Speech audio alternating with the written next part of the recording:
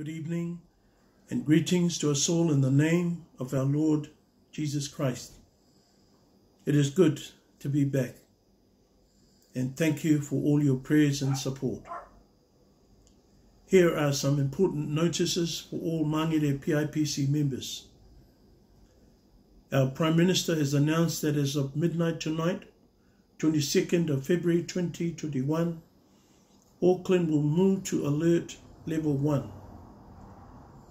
What does that mean for us at Mangere PIPC? 1. All church services will resume as normal this Sunday, 28th of February 2021. That is our combined service at 10 a.m., our Niuean service at 12 o'clock, our Samoan service at 2 p.m., and our Cook Island service at 4 p.m. Sunday school and Bible class will resume as well. Two, tomorrow night we'll, we will be having our first Board of Managers meeting at the church at 7 p.m. 3. Please remember COVID 19 is still around. Therefore, it is important for us to keep safe.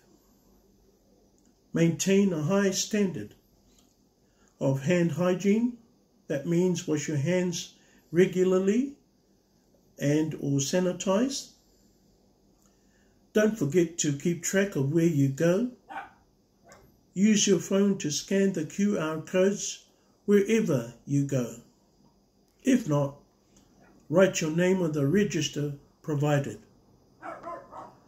The Prime Minister also announced that it is now compulsory to wear a face mask, face masks when we travel on public transports.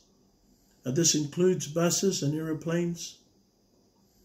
Lastly, if you are not well, please stay home go and see a doctor and get tested. I just want to say all the best to my colleague, Reverend Sola, as he begins his leave for the next five weeks.